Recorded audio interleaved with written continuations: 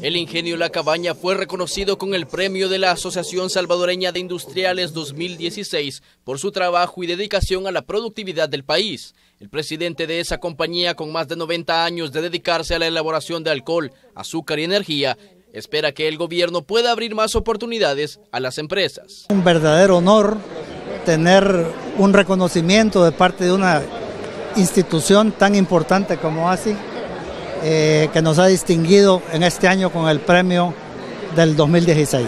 Bueno, la verdad es de que creo que las industrias tienen que valerse con sus propios recursos y tratar de crecer en un ambiente que ojalá fuera más favorable del que ha sido el últimamente. En el evento también se entregó el premio emprendedor y al empresario benefactor como parte del reconocimiento a las empresas que han sido ejemplo con su impulso a la productividad.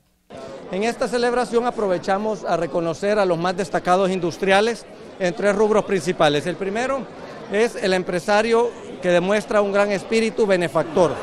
El segundo galardón va para el reconocer el espíritu emprendedor. Esa es la celebración que tenemos esta noche y nos sentimos orgullosos de reconocer la labor de esos empresarios. En este año los empresarios se comprometieron a seguir asumiendo grandes retos e impulsar a más organizaciones a hacer el esfuerzo de promover el desarrollo local. Con imágenes de Gonzalo Tejada informó Inmar Batres.